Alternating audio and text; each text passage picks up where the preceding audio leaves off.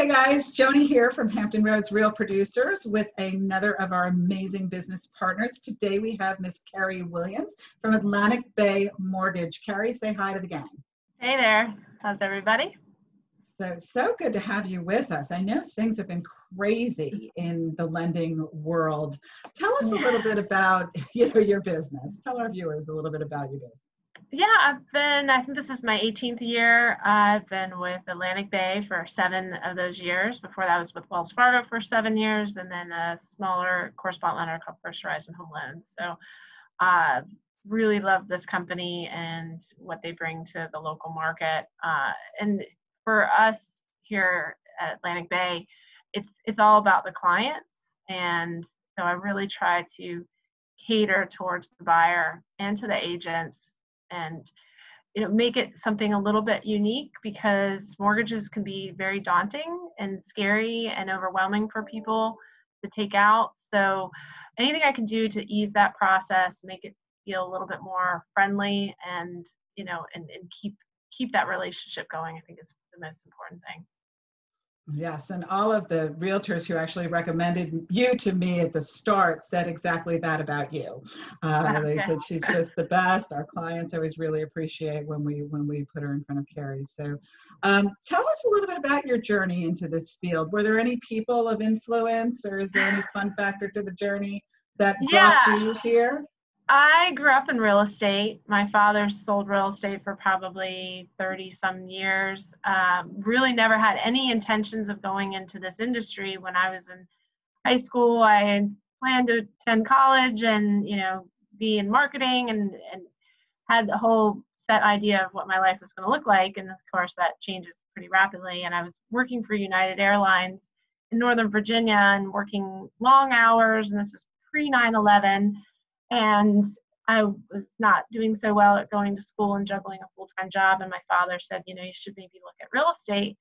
And so I did for um, quite a while. I worked up there at a Remax firm in Northern Virginia, and then um, decided to move to Hampton Roads, uh, sort of unexpectedly. And when I did, I got into the mortgage side of things through um, through our in-house lender at the Remax office. So thought I would do that for a year or two just to get familiar with the area and then get my real estate license down here and really just fell in love with doing mortgages and and that side of the business and that was 2002 so um, the rest is history. But i think growing up you know where i you know it was very commonplace oh dad's going to be late he's out with clients. Yeah it, it's just something you know it was sort of an something that came pretty natural to me because I think there was a, was a familiar uh, business to me all my life. And I also think knowing his perspective helps me have a better perspective on how to uh, really do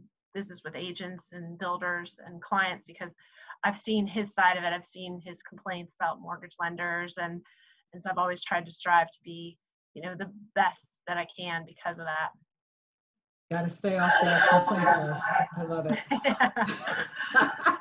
so, so Carrie, I know the answer to this question, but tell the viewers, you know, our our our realtors, real estate agents that we work with, along with you know a consumer, there's a lot of choices they have when it comes to the lenders they work with. What sets you apart? What's your uh, what what why choose Carrie Williams?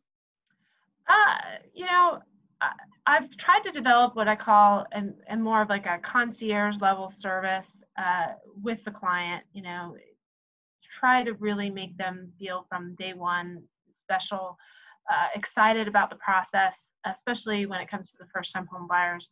I send out a nice little care package with uh, items for them for packing up their home, roll of tape, marker, packing list, stickers, everything. And that's, you know, kind of a little bit of a unexpected gift that they get right within the first week of getting pre-qualified. And I try to brand it, you know, with the agents as well. Um, you know, we we stay in constant communication with the clients and the agents throughout the process. They only deal directly with me as a client. So I'm not handing them off to someone. And not to say that that doesn't work for other people, but for me, I, that's what I enjoy is talking with the clients, helping them through tricky situations, getting to know them, their kids, their family, and that's what makes this real for me and, and beneficial and rewarding. So I think that those items and those you know put together just makes for a very cohesive process. So I find that most agents say, you know, this has been easy. You've you know you communicate to me before I have to communicate to you in most circumstances, and whatever we can do to keep the stress level low and in a very stressful time is beneficial. And so the mortgage part of it, I really try to make that be you know uh, not the the center of the attention because i want it to go through smoothly. Fantastic. And that's pretty much what people were telling me. So so tell our viewers a little bit something about you that they might not know. What what's uh what, what's part of your fun and unique factors ah well i don't know um uh I have two kids and a husband that's in the Navy, so my life is very busy with that. Um, I I would say that I, you know, I used, I mean, I, I used to be an active runner, a- avid runner. Um, I can't say that so much since COVID 19 because I have limited resources with my kids and my husband being deployed. But you know, that's that's always been a passion of mine is being active and, and playing sports. Um, people might not know, I'm very, very much involved with um, CHKD, Children's um, Hospital here in Norfolk, and I belong to a fundraiser group. They have their circle groups, which make up the hospital um, that like founding group, which is the King's Daughters, and we raise money and awareness for the hospital. I led that group a couple years ago, I'm still involved in that group, and now I serve on the board of directors for the King's Daughters as part of um, the hospital uh, founding um, organization. So a lot of people don't know that that's my involvement. My sister had um, pediatric uh, brain cancer, so it's always been something that is dear, near and dear to me to be able to support. The fact that we even have a local children's hospital is just amazing, and then you know whatever I can do to help support it is is very important to me. Fantastic. That's terrific. I, I know a lot of folks in circles uh, locally, so they're, they're doing some great stuff out there. So, um, Carrie, how has, you know, these are strange times we live in. You know, this, this COVID 19 has, you know, caused a lot of pivoting in the way we live and the way we do business, the way we do life. How has it affected you and your business? lots of different ways. Um, it's uh, that first week was a very turbulent week. The week of March 16th um, was an extremely turbulent week for our industry. There was a lot of uncertainty. There's still some uncertainty on certain things, but the the way the market went up and then went down was just a little bit uh, overwhelming and stressful, one could say. But we've been able to kind of um, get a little bit more of a footing since then. And, you know, I'm, I'm blessed. I'm, we're in an industry that's extremely busy right now, whether it be purchases or refinances. So I can't, you know, say that, it's been an, an truly negative impact on me because we're um, able to still lend, we're able to still do most loans that we were doing before. And it's, you know, I still come to the office. I'm actually in my office. Most people don't. It's just me and my manager that only come here.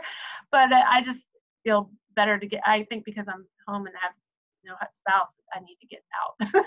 so, uh, but there are some restrictions and guideline changes uh, that have come into place because of the, the amount of forbearances that the market is seeing. Mm-hmm. Um, you know, I've had a couple people where they were in like maybe the um, you know, they were a hairstylist or a restaurant um, server that have had to put their, you know, dreams of homeownership on hold uh, mm. because of their income, you know, has been dramatically reduced. So you've seen situations like that, but overall, you know, most the buyers are really, you know, out there and and they're still buying. And if anything, right before COVID nineteen happened, some of my clients were like one of six and eight offers on a property and it was just becoming very daunting because they were just in such competition. So the competition level has come down a little bit.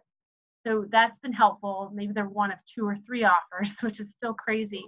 So i think there's a lot of people that have maybe put the brakes on buying or even selling their home until some of this has been resolved. Uh, but overall, I think you know we've we as an industry have navigated ourselves through it and come up with solutions to kind of keep things moving forward. And then certainly certain guidelines will open up a little bit more. I mean, you know, there's there's still a couple programs that are a little bit restrictive right now, but overall, I think we've we've um, evolved just like most people have. Terrific. So good to hear. So good to talk with you. Um, if you could give our viewers, which are mostly top real estate agents and and a lot of you know folks buying and selling homes of their own, any advice during this time, what would that look like? What would you say?